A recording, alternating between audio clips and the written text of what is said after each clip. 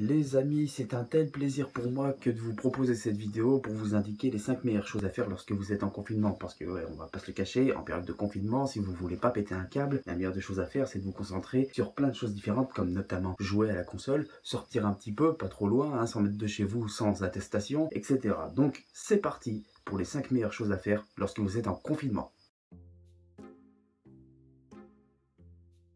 Première chose à faire, tu t'emmerdes un petit peu, t'as une PS4 à proximité, mais t'as des potes qui jouent au jeu que toi tu n'as pas. Pour cela, rien de plus simple, tu vas sur le PS Store, tu t'achètes les jeux auxquels tes potes jouent, et puis comme ça, vous vous faites des bots games entre vous, ça vous évite le pétage de câble, comme ça vous passez une petite journée tranquille. Et ça, ça peut se dérouler sur plusieurs semaines. Bon, bien évidemment, les jeux vidéo n'ont jamais rien apporté de bon lorsque tu es en confinement, parce que parfois ça peut vraiment te faire péter un câble encore plus que d'habitude. Mais dans le sens où que bah, tu sais pas trop quoi faire de ta journée, par exemple t'as pas envie de sortir, jouer à la PS4 ou à la Xbox One, c'est la meilleure des choses à faire quand tu ne sais pas quoi faire. Bon après, bien évidemment, il faut le budget derrière, mais ça c'est autre chose. Deuxième chose, tu veux sortir dehors, mais tu ne sais pas trop euh, quoi trouver en termes d'idées pour trouver la sortie originale. Pour cela, rien de plus simple, tu vas dans des endroits de ta ville que tu n'as encore jamais exploré à condition d'avoir une petite attestation pour sortir à plus de 100 mètres de chez toi, et puis tu prends des petites photos, des petites vidéos, tu immortalises le moment, puis tu publies ça sur Instagram, sur Facebook, sur WhatsApp, je sais pas si c'est le cas sur WhatsApp, mais enfin bon, tu as compris, tu publies tous tes exploits sur les réseaux sociaux, et tu vois ce que les autres en pensent. Tu auras certains avis négatifs qui, qui, euh,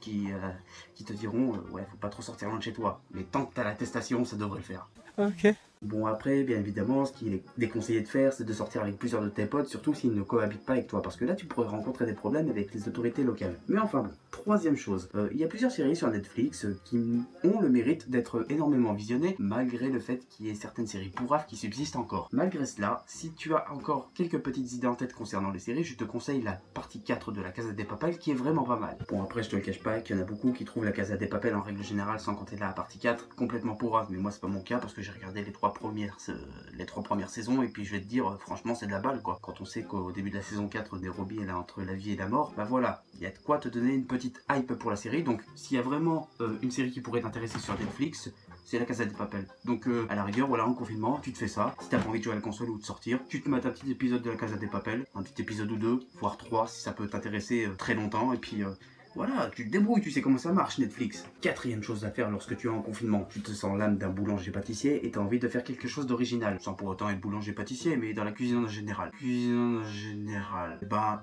tu fais un petit mousseau au chocolat. C'est un truc, en fait, c'est un gâteau dans, dans lequel t'as un petit euh, fondant de chocolat.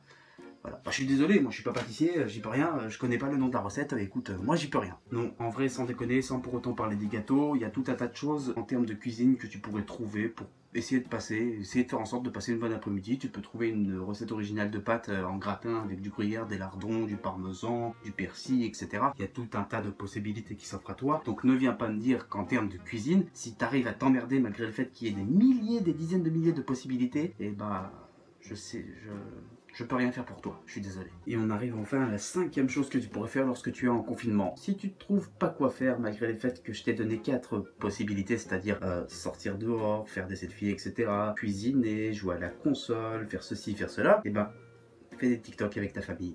Ou fais des TikTok euh, toi-même et puis euh, publie-les. Enfin, je sais pas. C'est une bonne idée, non, cette cinquième chose? Ouais, je pense, hein que je regarde. En plus, j'ai rien écrit pour cette vidéo.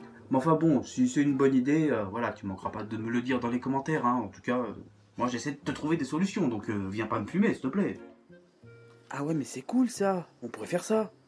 Non, je suis désolé, on ne le fera pas. Ouais, t'es pas drôle.